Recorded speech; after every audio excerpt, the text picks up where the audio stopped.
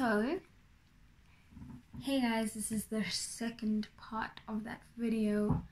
I love how I did this. Let me just do it normally. Second, second, second part of that video um, of being an outsider. so, me, I am an I I I think I'm an introvert. I think I've, I've accepted being an introvert because before I didn't really think that I could. I, I was like, no, uh, you can't give yourself like I, I back then I was like, you can't label yourself. You you don't fit all the criteria. You just want to label yourself because you feel that you want to fit in some way, and you don't you really don't fit in anyway because you don't you don't meet the you're not you're not an extrovert and you're not let's say let let me just put it as in my own words you're not good enough to be an um uh introvert. You're not introverted enough to be an introvert because look you're talking to a screen. You're talking to all these people out there which will be many at some point. But the thing is I decided to do YouTube because no one could see me in real time. They will see me when they see me, but I'm more confident by myself. I'm more confident on my own. I can say whatever, I can plan what I'm going to say, I can say whatever I need to say. I can just um speak without any interruption, without anybody telling me that I'm wrong or anything like that. I mean, there's the comment section, but I mean, it's not in real time it's not in front of my face you know? And i guess that that's the the cowardice part of me which is very it's very real. I'm not gonna lie and say no i'm, I'm not afraid of anything. No it's a lie. I'm afraid of many things. I'm actually very paranoid but also I, it's it's it's it's for another video guys. But anyway so i can i i think i can now say that i'm an introvert because this thing of being an outsider was caused by me being an introvert. Because there's introverts, well, me, me, me, me, just me, right? I'm not saying that. I'm not saying that all introverts um, are outsiders. I'm really not saying that because some people are introverted, but they're they have friends and they they like they they just free amongst their friends and they just free w- while being introverted you know? Some people are just not made to be like loud and out there. But for me my fear of rejection and me just like del- delving deeper into myself caused me to like to be on the outside.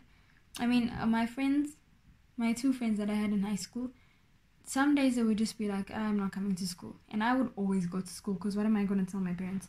Nah, i don't want to come to school. Why because my parents are both teachers, as you guys know. What am I gonna say? I don't want to go to school.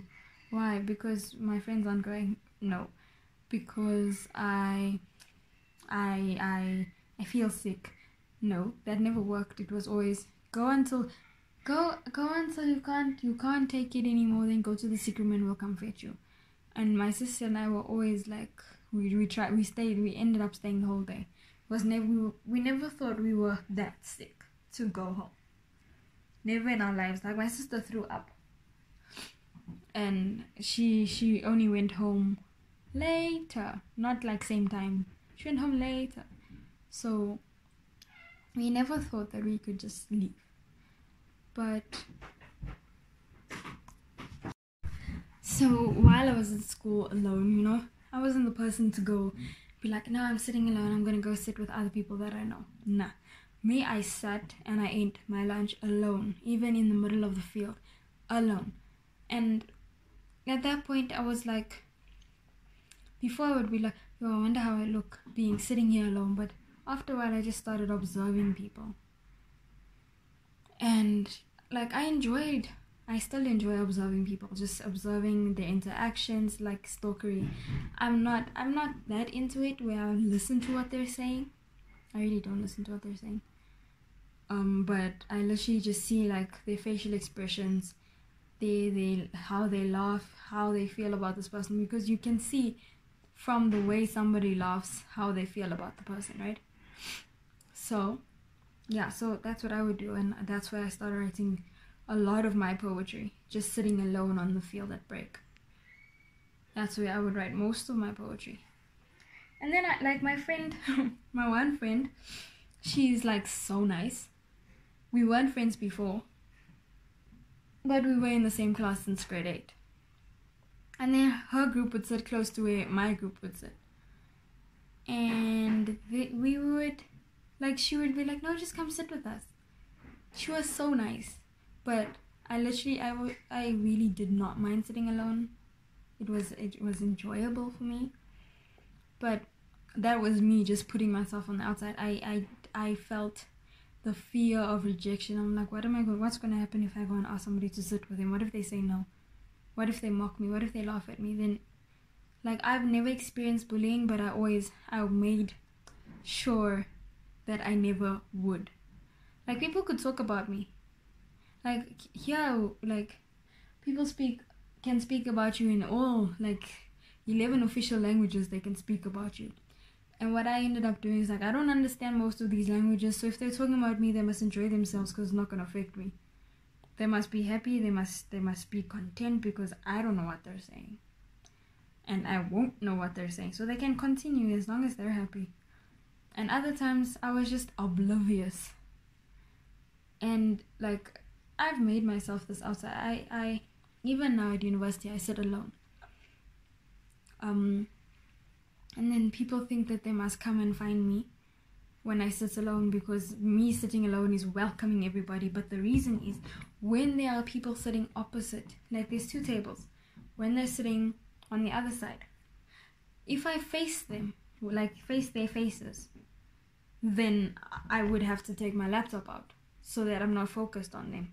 So I'm not looking into somebody's eyes by accident at any point.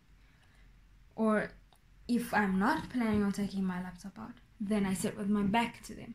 So I'm not looking at anybody at any point in time. When I'm focused on something and somebody comes and sits there, I know that they're there, but I won't look at them at any given time. And like yeah, they sit down, I greet them and I carry on, right? But by like you can see by the look of somebody their intentions. And half the time I'm here. I'm like literally this is me and the table, that's why my eyes are so bad but then people will come like stand next to me. I'm like oh this person wants something from me. I hope they can see that i'm not gonna look up.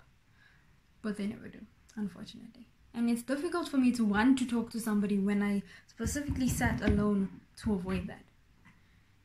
And the fact that i say no i like being alone they're like no but you must make friends. I'm like no i'm fine.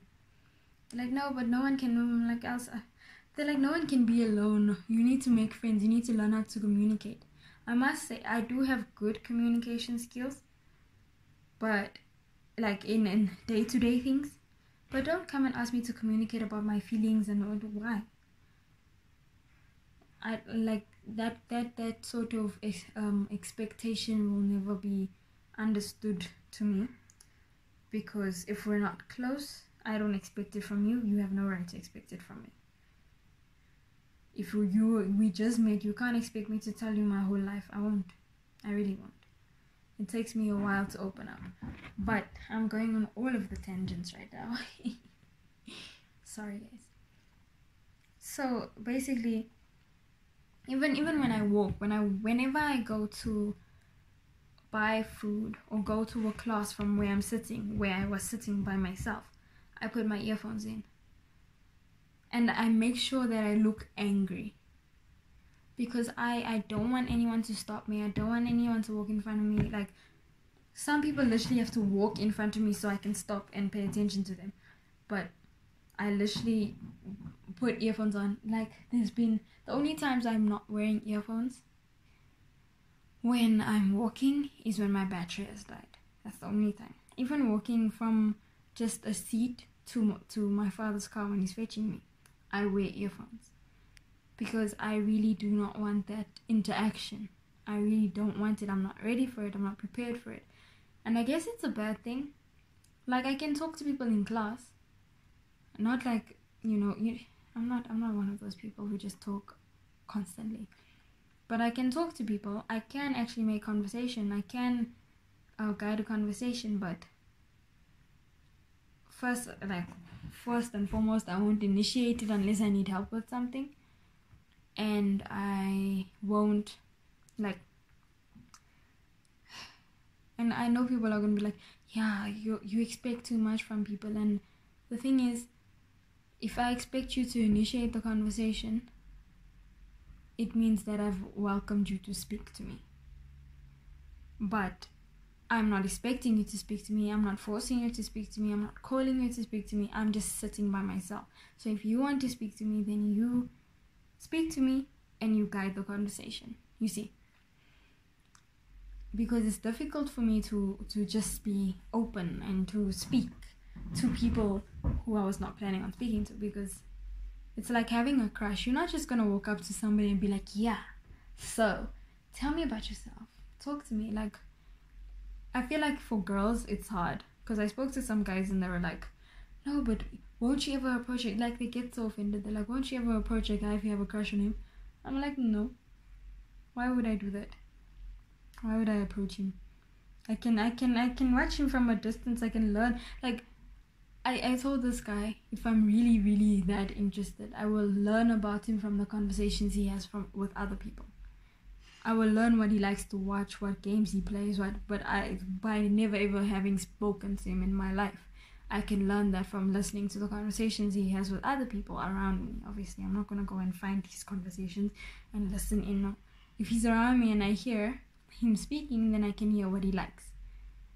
But I'm not just gonna be like, so sup guy i like you we should um get together sometime no i'm not doing that it's weird don't do it well if, if that's you do it but i won't i i know i will literally go up to you and ask like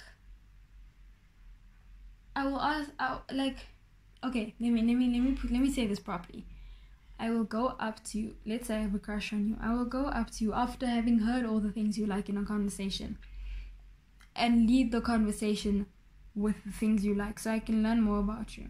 You see? I'm not just gonna be like, so yeah, like uh, school bag. I have one of those too. No, I'm not. No. Like some some guys are really slick. They they'll be like, um, do you know where this place is? Um, do you know how to do this? I'm like, no, actually I don't. Then I'm like, oh okay so how are you? And I'm just like, wow, guy, wow, wow, sharp, great.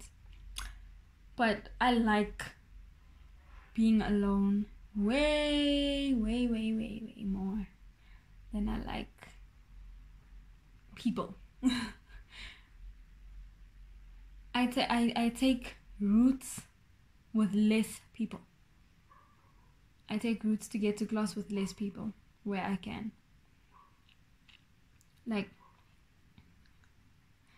I don't know why, but for me, I feel way more comfortable that way.